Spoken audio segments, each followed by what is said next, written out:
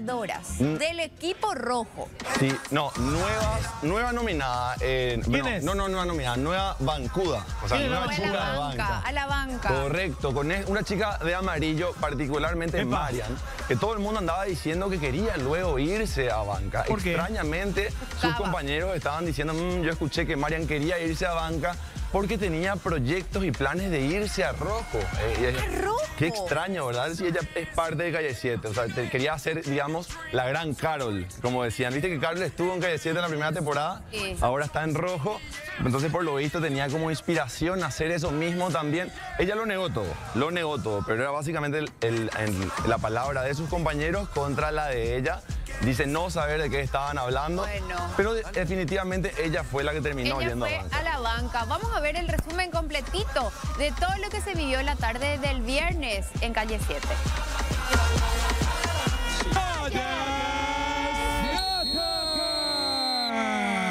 Seis minutos de tiempo tienen Patti y Marian para tratar de acumular con sus equipos la mayor cantidad de campanas. Dos compañeras se están enfrentando, bajan al mismo tiempo. Salvás, dice Lucas. Vamos, Marian, también. Todo por el equipo de Marian.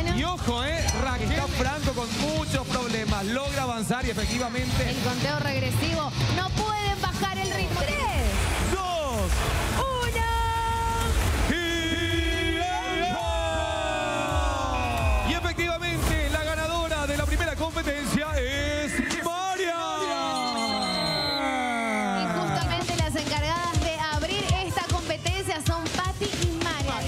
Esa campanada. ¿Qué está pasando en este momento? Ni Marian ni Patilú pueden subir. ¿Eh, ¿Le quieras decir a Marian? Marian, bajate y descansa.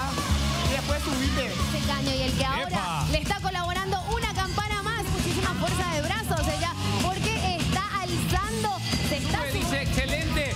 Gracias, Muñe.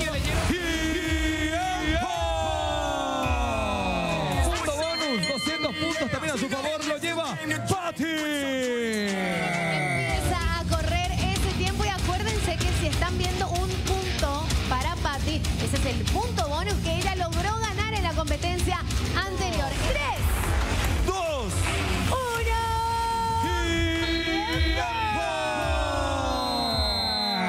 Rápidamente arranca la pasada de Patty, quien ahora va a buscar su segundo punto. ¿Tiene cuánto? Dos minutos para buscar eso y lo que tiene a su favor es que ya arrancó con un punto bonus.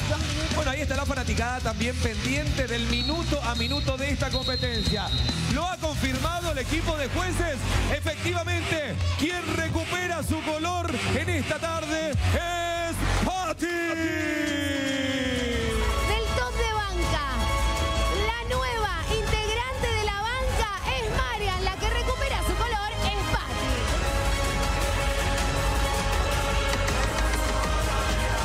Qué linda es Marian. ¿Verdad que sí? Es una morena muy. Esa es la de Ciudad del Este, ¿o no? los rulitos te Sí. quedan muy bien. De Luque. De Luque, Luqueña. de Luque, es, mira un poco. Luqueña. Sí, así que saludo a Luque que está de fiesta por haber subido de nuevo a primera. Saludo a Dani Jara, connotado locutor. Su señora me recuerda que hoy es su cumpleaños y están por Hernandaria. Saludos. Dani. eh. Bueno, Dani. Sí, así que. Marian eh, está en banca ahora. Bien pareja la banca. Sí. Sí. Así que vamos a ver cómo sigue todo esto el día de hoy. Vamos a ver si hay finalmente calma, cómo se va. ¿Qué pasó con los enamorados? Ah, y con están, el que se sacrificó por su amada. que, que sacrificó, digamos, a su amiga, a su A su amiga amiga, Sol, sí. por seguir un poco la historia con Marina. Y parece que están bien, parece que están Bueno. bien, hay calma dentro de la relación. Pudimos justamente conocer también la historia de vida el viernes de Sol, que era la amiga celosa, la amiga tóxica. Y, bueno, ya también conocimos unas cuantas cositas de por qué también ella era, es y es como es, ¿verdad? Eh, más que amiga tóxica, pa- para mí puede ser una amiga que se enamoró. Y es lo que yo también sospecho. Sí. Ahí comparto también eso. Porque no, no existe, o sea, si tu amigo... Están de moda ahora las tóxicas. ¿eh? Y los tóxicos, Sí. para mí que siempre los hubo. Y las... Pero la mujer es más tóxica que el hombre, ¿o Ahora es no? más tendencia. Yo creo que sí. Comparto Sí. contigo. Con Yo creo sol, que con no. sol, vení. Yo creo que el ya. hombre es más tóxico. Sí. O sea que está en la naturaleza.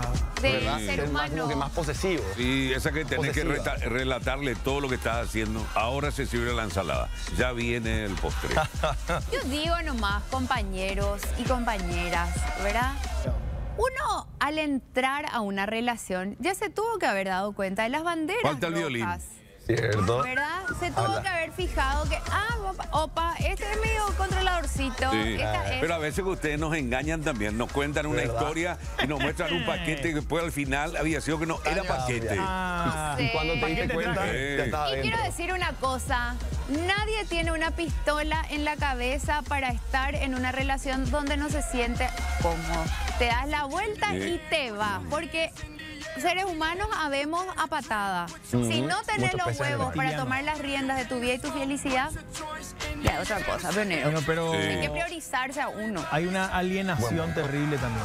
Claro. Comienza a Hay que, querer, como la hiedra. hay que quererse también un poco, ¿verdad? Después ya cuesta desligarse. Sí. Yo creo que en toda buena relación cada uno tiene que tener su tiempo. Ahí está. Por ejemplo, ella, para estar con sus amigas, Por ejemplo, Amparo, la frase, mi amor, me toma un tiempo. eh, Necesito Oh. un tiempo. No sos vos, soy yo. No soy fue yo. aire. Vos soy yo. Sí, Ese no no falla. No falla ese. no, el, el- el- el terrible cuando te dice, estoy confundido. Ajá. No sí. sé qué siento. Esas son las cartas, el as bajo la manga. Me voy a lo de mi mamá. Sí.